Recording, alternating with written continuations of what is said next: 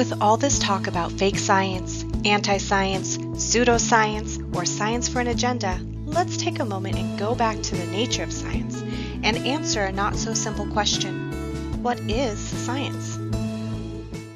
Science is exciting, useful, ongoing, global, and based on evidence.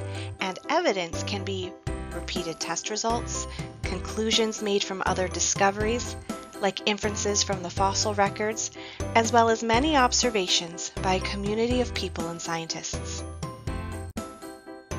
There are two main categories of science, pure science and applied science. Pure science is science for gaining knowledge and applied science is applying that knowledge to solve a problem. Today we will focus on pure science and think about the nature of science. Pure science is for reason and understanding alone, no regard for practical applications, just learning to learn. Demonstrating pure science can be as simple as a child's game. For example, you're at a restaurant and you watch a child with his mother. The child has a small toy and is throwing it off the side of their high chair and watching it drop to the floor. The child giggles as the toy falls to the ground and mom quickly picks it back up and places it back on the tray. The little boy throws the toy again and without fail the toy falls to the ground and the game is repeated. As the child is playing this game, he is making observations that will lead him to predictable outcomes about other objects in the future. If those outcomes, under the same conditions, can be predictably repeated and they have not been proven false, they become a scientific law. A law, when objects are under the same given conditions, hands us a statement that tells us what things will do and attempts to predict what will happen. By now, the baby understands that the toy will fall to the ground when dropped, even though they don't know the names of the laws that make that action occur. But laws don't tell us why this happens. It is a theory that gives us the all-important why the toy falls to the ground each time it is dropped. Theories explain why something happens. Builds understanding of concepts from research to refine the theory when new evidence is found sets clear boundaries that would prove the theory false. A quick example from our playful baby. If gravity is not existent, then when the plastic toy duck is dropped, it would float up to the sky instead of fall down, and be an observation to prove his prediction false.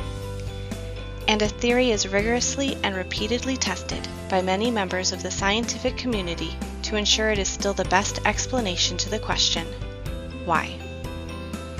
To communicate the knowledge about the natural world gained from pure science, scientific laws, which are accurate predictions of what something will do, and scientific theories, the explanation of why it happens, are used.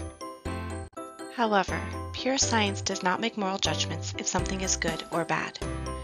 Science cannot tell you if something is pretty or ugly, doesn't tell you how to use the knowledge gained or draw conclusions about supernatural or philosophical explanations about knowledge, reality, and existence.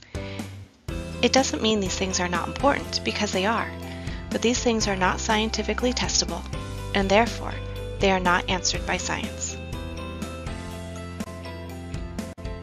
As the scientific community continues to make observations and test ideas about the natural world, like ecosystems, they will continue to build knowledge set up experiments, and identify evidence that would help support or reject ideas when they are tested.